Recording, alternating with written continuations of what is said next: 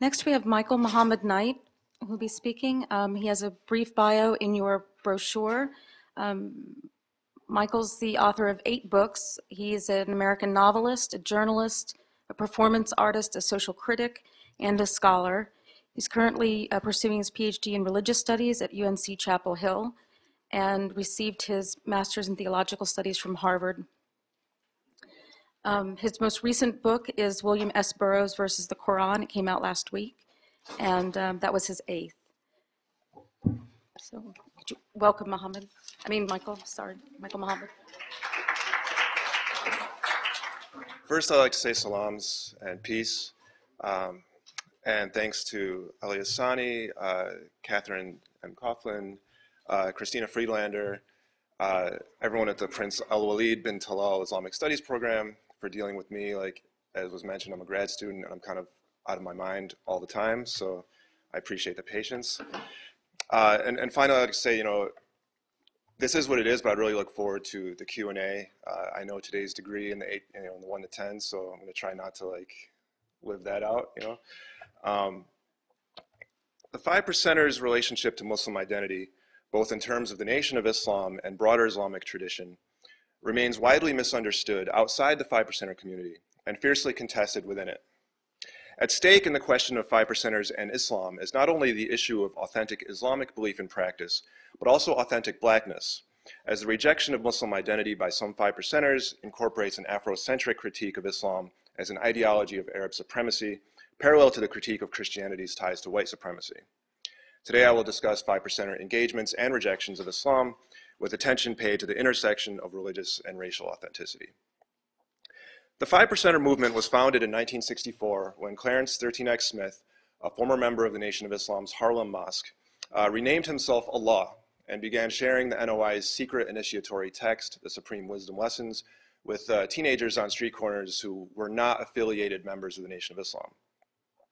Uh, Allah taught that the meanings of the lessons could be properly unlocked through his own algebraic code, as Dr. Miyakawa explained, uh, the supreme mathematics.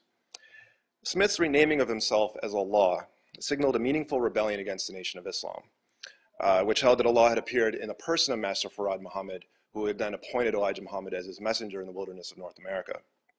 In his claim to be Allah, the former Clarence 13X undermined Elijah Muhammad's authority and ownership of what Master Farad Muhammad had given him.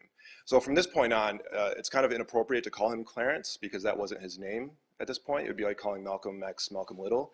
So when I say Allah, I'm not saying that I pray to the man, but that was his, his name. So uh, an even more radical departure from the Nation of Islam occurred when Allah shared his name with his community, declaring that all black men were entitled to call themselves Allah. This innovation, while based on Allah's reading of the lessons, represented an extreme democratization of the theology furthered by Elijah Muhammad. For Elijah Muhammad, all black men were gods, but one best knower, namely Master Farad Muhammad, reigned supreme as Allah. In the five percenter view, every black man was equally his own Allah, with no transcendent authorities above him. In this vision of divinity resting solely within the self, Allah disavowed affiliation with any organized religion. After his institutionalization for nearly two years at Matteawan State Hospital for the criminally insane, uh, he would say that the authorities there at that institution said, Allah, you know, we don't have your service here. We don't have your religious service. And he said, well, if you mean Muslim service, that's not my service because I don't have a religion. Um, in a, an interview in 1968, Allah mocked the Nation of Islam's deification of Master Farad Muhammad and compared the NOI to the Catholic Church for its claim to represent the wishes of an unseen, unknowable deity. Uh, Allah, by his own self-identification, was not a Muslim. He understood that his name was offensive to Muslims, uh, and he actually encouraged five percenters to distance themselves from uh, Muslim identity. So five percenters who had Muslim names, he encouraged them to, to drop those. And he also discouraged the use of assalamu alaikum as a greeting, saying, well, you know, if Arabic's not your language, why don't you say in a language that you understand? So this is why five percenters greet each other with uh, peace. Allah did not leave behind a published manifesto and the 5%er's rapid growth after his assassination in 1969 led to some confusion over the 5%'s proper relationship to Islam. After all, 5%er thought had grown out of an interpretation of Nation of Islam teachings, and the words Islam and Muslim do appear in the lessons that 5%ers regard as their crucial text. Uh, the lessons describe the black man's, quote, own self as, quote, a righteous Muslim.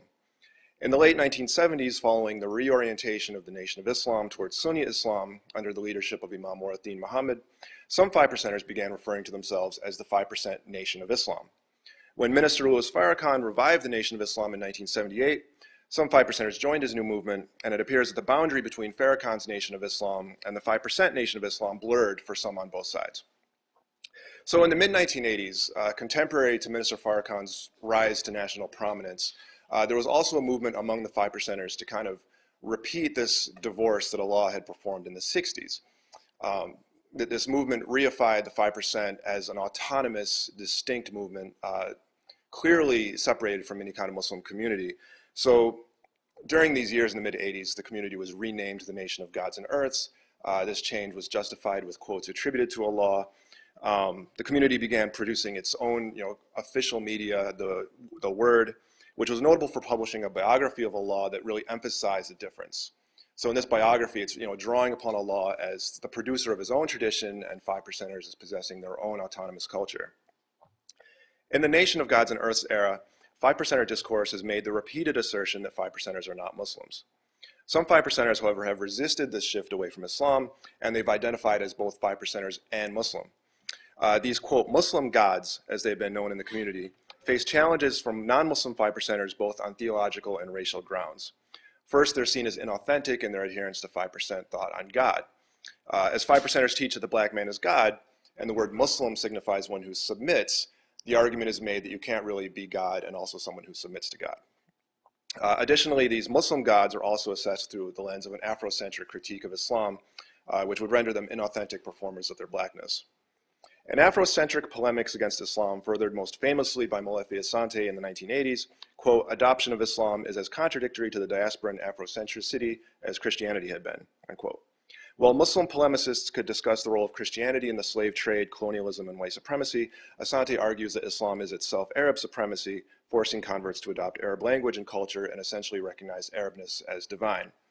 The psychological damage caused by the portrait of a white Jesus on the wall, demanding that black people pray to a God who does not look like them, uh, and the Afrocentric critique is seen as paralleled by Islam's reverence of divine text, the Quran as authentic only in the language of its revelation. Uh, so the idea is, you know, European Christians made God look like a white man, and Arab Muslims made God sound like an Arab. This charge would have precedent in earlier work, such as Chancellor Williams' The Destruction of Black Civilization in 74, which argued that prior to uh, European colonialism, African nations had been brutalized by Arab conquests, the Arab slave trade, and Islamic hegemony. So Islam, in this view, is no less anti-black or less an enemy of African heritage than Christianity. Uh, tensions between these competing visions of Islam as either a pro-black religion or an ideological tool of Arab power can even be found in the discourse of Elijah Muhammad. So earlier in his career, uh, Elijah Muhammad identified Arabs as black people, um, but you know, by the 70s, with uh, increasing tensions between the Nation of Islam and Sunnis, Elijah Muhammad changed his views on the Arabs' racial identity. Uh, and he said that you know, the old Islam was run by white people and the new Islam would be run by black people. Uh, the Afrocentric antagonism towards Islam would inform in, uh, intracommunal polemics between Muslim five percenters and non-Muslim five percenters. Uh, debates in online five percenter forums include references to, quote, pale Arabs and, quote, that camel riding religion of the seventh century. Quote. The word Islam uh, has been broken down with two backronyms to demonstrate the difference between five percenters and Muslims.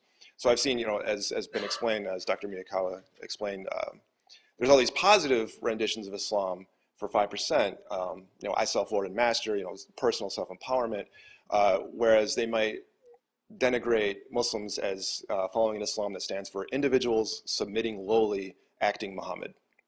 So there's this argument that, you know, by being religiously Muslim, you're becoming other than your own self. Uh, these concerns of religion and race would intersect in the case of firstborn Prince Allah, who was regarded as one of the original nine teenagers to have joined the 5% in the 1960s. Firstborn Prince Allah, while identifying as a five percenter and member of the Nation of Gods and Earths, nonetheless attended congregational Juma prayers at Masjid Malcolm Shabazz, uh, the Harlem mosque that was once led by Malcolm X, even more outrageously, he shocked and offended many five percenters by actually performing salat in the Allah school, which was the five percenters headquarters in Mecca. And he would recite very loudly, almost you know, deliberately loudly, as some would charge, uh, in Arabic. Uh, Firstborn Prince Allah was often seen wearing an Arab keffiyeh, which led to derision of him as sporting, uh, in the words of one elder, quote, that Yasser Arafat rag on his head, unquote. And uh, in an audio recording of firstborn Prince Allah reciting the supreme wisdom lessons, we additionally hear him reciting short surahs uh, from the Quran in Arabic. Firstborn Prince Allah is said to have recognized that he was God while performing wudu. So he's actually doing an Islamic ritual, he's preparing for Islamic prayer, and he looks in the bathroom mirror and he sees himself and he recognizes that he's praying to himself.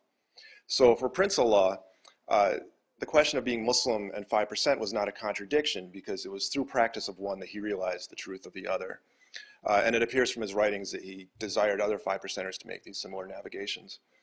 Uh, in recent years, a group of Muslim 5%ers known collectively as the Allah Team has sought to rehabilitate Islamic identity for the 5%, both in terms of religion and race. Allah Team author Wakeel Allah, who is a student of Firstborn Prince, wrote two histories of the 5%er movement, which assert that not only had Allah, the former Clarence 13X, uh, remained a faithful and loyal Muslim despite his leaving the mosque and despite his own statements to the contrary, um, uh, but that he also saw himself as a follower of Elijah Muhammad and instructed his disciples that in the wake of his death, uh, the 5%ers should return to the Nation of Islam. Additionally, Allah team member True Islam, better known as Dr. Wesley Muhammad, presents Islam as an authentically black religion in his work. So I'm going to talk about him a little bit, and I should also clarify that when I say true Islam says, or true Islam argues, I'm actually talking about a person. I'm not making a theological argument here. um, so true Islam says that uh, not only had Islam emerged from largely an African context, but also that the Prophet Muhammad had black ancestors, uh, black descendants, and that even that Allah was, worshipped, was worshipped as a black god by pre-Islamic Arabs and uh, in the pantheons of the surrounding uh, civilizations, such as you know, the sun god Ra in Egypt and the, the trickster god Enki in Mesopotamian religion. True Islam asserts that Islam began as a black religion only to be, quote, Aryanized when the black Umayyad Caliphate was overthrown by the, quote, Red Persian Abbasid Revolution. In true Islam's vision of history, the spread of Islam beyond its black milieu led to red Persians and white Turks corrupting the religion, rendering Islam's origins as a black movement unimaginable for today's Muslims and non-Muslims alike. This, quote, Aryanization is also seen to have impacted the lives of non-Muslims under Islamic rule, as True Islam asserts that uh, during the time that Islam was, quote, a black thing, was also the era in which Muslims were most tolerant of uh, minority religions under their rule. In his contention that the original Arabs who followed Muhammad would be categorized as, quote, black in today's constructions of race, True Islam seeks to neutralize the Afrocentric claims that Islam promotes conformity to a culture that is alien or even hostile to black people. Authentic blackness is tied into a vision of authentic Islam, as True Islam idealizes the earliest Muslim community as the most connected to blackness and Africanity, and also asserts that this community saw God as a man with a physical body. For true Islam, therefore, the Nation of Islam's teachings of black supremacy and embodied anthropomorphism are by no means, quote, heretical, but in fact truer to the Prophet's original mission than uh, modern Salafis of today. How are we on time? Are we good? All right. Uh, these concerns are not unique to the five percenter tradition, uh, as other African American Islamic communities have had to navigate between claims for authentic Islam and authentic blackness. In the years following the 1975 uh, passing of Elijah Muhammad, we see Warith Deen Muhammad reorienting the nation towards Sunnism, uh, but he continues the, uh, the connection of Islam to authentic blackness by emphasizing the role of Bilal, the Ethiopian companion of the Prophet Muhammad, um, thus building a, a, bridge to the NOI to the larger Islamic Ummah and also demonstrating this, uh, this crucial place of blackness in Islam's heritage. Um, and terming members of his community to be Bilalians, Warith Deen Muhammad enabled a new usable history to accompany the movement away from his father's teachings, and this smoothed out that transition. For Minister Farrakhan's NOI revival, however, uh, black authenticity and Islamic authenticity were both achieved through faithfulness to the teachings of Elijah Muhammad. The Ansarullah community, which originated in the 1970s Brooklyn and thrived in uh, the 1980s as kind of a Brooklyn parallel to Harlem's Five Percenters, um, also made claims on both authentic Islam and authentic, authentic blackness. Uh, for the Ansarullah, this was achieved by a heavy use of Arabic text in their pamphlet literature, um, a heavy emphasis on normative Islamic practice, what they saw as normative Islamic practice, and in fact, uh, a hyper-normative idea of Muslim dress for both men and women, and connections to the Sudanese Mahdiya. Uh, additionally, though the Ansars did not actually identify as Shia, they supported Ali's right to succession and integrated this into their own uh, ideology on race by representing Ali and Fatima as black uh, and Abu Bakr as this pale usurper. So in the in the art of the Ansarullah community, you see this this pale Abu Bakr, you know, arguing with with Fatima, you know, as he's depriving her of her rightful inheritance from her father and marginalizing Ali from his rightful position of power. Um, we even see Islam's authentic blackness defended today within contemporary Sunni discourses, such as Imam Zaid Shakir's essay, Islam, Prophet Muhammad, and Blackness, in which he discusses the Prophet's numerous close companions of Ethiopian descent, such as Zayd ibn Haritha, whom the Prophet described as his own son. Additionally, in Islam and the Black American, uh, Sherman Jackson skillfully argues against the charges of uh, discussed from Afrocentrist uh, thinkers such as Asante and what Jackson calls Black Orientalism. Even for five percenters who do not identify as Muslims, there can be an imperative to display a certain Islamic authenticity. Five percenters who deny affiliation with Islamic religion might nonetheless argue that they possess a superior understanding of Islam's true meanings. Uh, this argument is often made through a breaking down of the Arabic word Islam as meaning not submission, but rather uh, best expressed in the, in the root letters, you know, relating to peace. Uh, and Muslim is not one who submits, but rather, quote, as one of peace. Additionally, some non-Muslim five percenters will make their claims that, in the words of Rakim, it even tells us we are gods in the Holy Quran. So they'll draw upon verses um, such as, you know, Allah telling the Prophet after the Prophet had thrown dust in the eyes of his enemy in battle, that it was not you who threw, Allah threw. So they'll look at verses like this and say, well, you know, there's the separation between man and God is somewhat artificial. Um, they will also draw upon Sufism, particularly the ecstatic utterances of saints such as Mansur al-Hallaj and Abu Yazid al-Bastami, uh, which provide a means for five percenters to stake a claim on the Islamic tradition without putting themselves under the authority of any kind of clerical institutions or discourses. The Five Percenter Project has been most concerned most urgently with issues of agency, both for the individual God or earth and for original people collectively, advocating freedom of individual conscience and cultural autonomy. Uh, so whatever five percenters do with Islamic tradition, whether as Muslims or non-Muslims, must first and foremost answer this question of agency. Thank you.